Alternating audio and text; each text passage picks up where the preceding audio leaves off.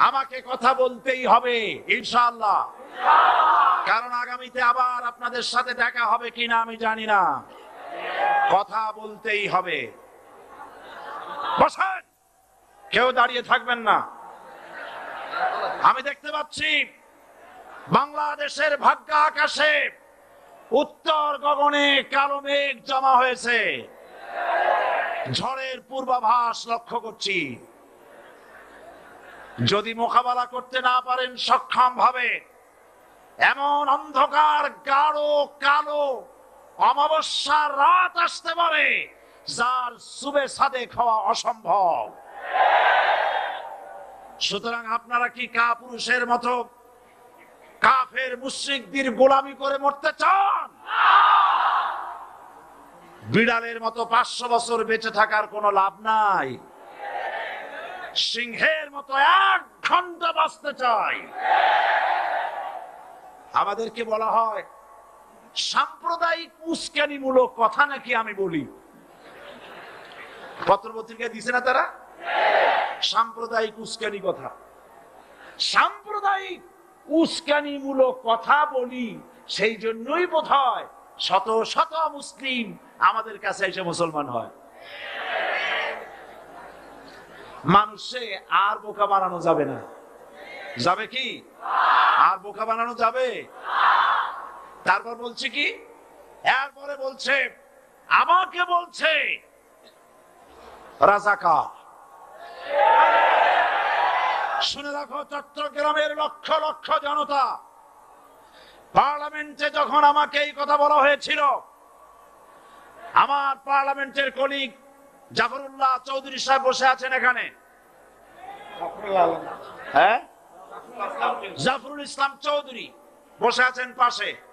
প্রধানমন্ত্রী সুদ্ধা, অন্তত তিন শতাধিক পার্লামেন্টের সম্মানিত সদস্যরা সেদিন বসা। উনিশশো সাতানব্বই সনের বাজেট বক্তৃতা যখন আমি করতেছিলাম, ডক্টর কুদরতে খোদা নাম রাখছে কুদরতে খোদা, আসলে গজবে খোদা। এই লোকটি নাস্তিক। ইসলামের চূড়ান্ত দুশ্মন। তার প্রণীত শিক্ষা ব্যবস্থার যখন সমালোচনা করছিলাম, ট্রেজারি বেঞ্চ থেকে আমাকে বলা হলো, রাজাকার, আমি আমার সমস্ত শক্তি একত্রিত করে বলেছিলাম, শুধুমাত্র হিন্দুস্তানের রাজাকারেরাই আমাকে রাজাকার বলতে পারে।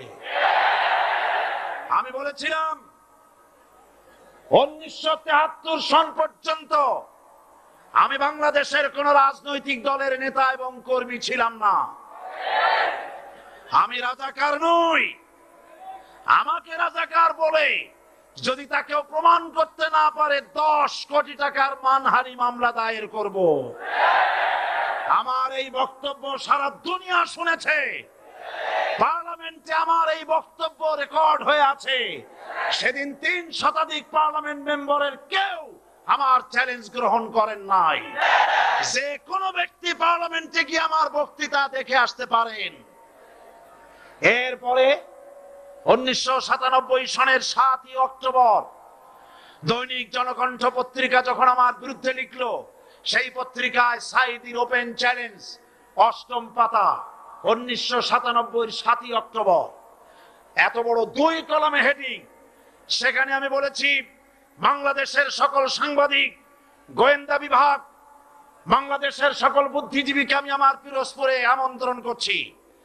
আমার উপস্থিতিতে যদি কেউ প্রমাণ করতে পারে, বাংলাদেশের স্বাধীনতা যুদ্ধের বিরুদ্ধে আমার কোনো ভূমিকা ছিল, সজ্ঞানে স্বেচ্ছায় জাতীয় সংসদের সদস্য পদ থেকে পদত্যাগ করব। তিন বছর পার হয়ে গেছে, আজ পর্যন্ত কেউ এই চ্যালেঞ্জের মোকাবেলা করে নাই। সুতরাং আমাকে যারা রাজাকার বলবে, তারা পিতৃ পরিচয়হীন অবৈধ সন্তান।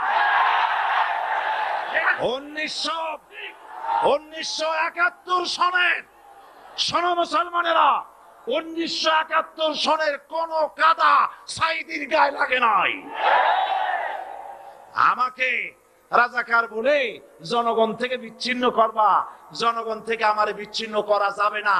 কারণ এই জনগণ আমার জন্য আসে না। এই জনগণ আসে আল্লাহ কোরআনের জন্য।